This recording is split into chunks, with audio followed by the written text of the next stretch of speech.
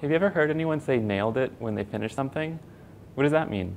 Hi, I'm Chris from Kaplan International English. Nailed it means you got it exactly right. You did exactly what you wanted to do.